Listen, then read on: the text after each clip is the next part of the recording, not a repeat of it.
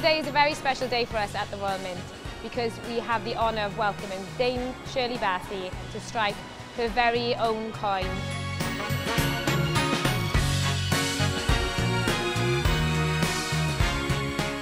Oh, it was emotional. It was up there with becoming a dame. You know, oh, I'm losing my, I'm so emotional. It's an honour, it really is.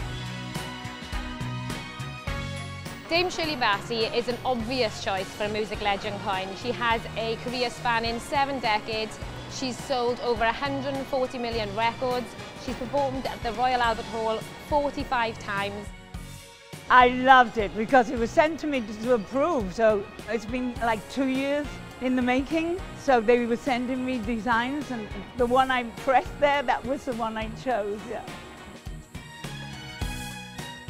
This will go to my new great grandson. He's like, oh wow. I haven't seen him yet. Future I'm on my way to a see him. future coin collector. Future coin collector. Right, lovely. With his great manner on the. Oh, thank you.